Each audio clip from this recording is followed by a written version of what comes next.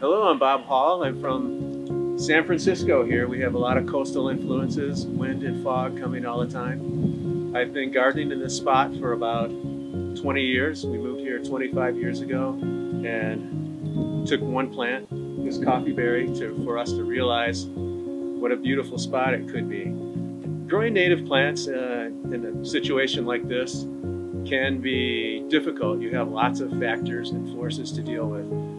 One, you live with neighbors, so your neighbors can mess up your golden plan that you had dreamed of. Two, you've got constant shadows. Uh, the shadows from the buildings are moving throughout the yard. And what you thought originally when you planted was a sunny spot turns out to be a shade spot three quarters of the year. And you have to deal with a landlord who may not want you to take over the garden. Fortunately, our landlord was very happy to get rid of all the chores of weeding and watering, so he's quite happy that we've taken over this spot. The best parts of gardening with natives for me has been watching the bees and the bugs and the birds interact with the plants and, and discovering new things.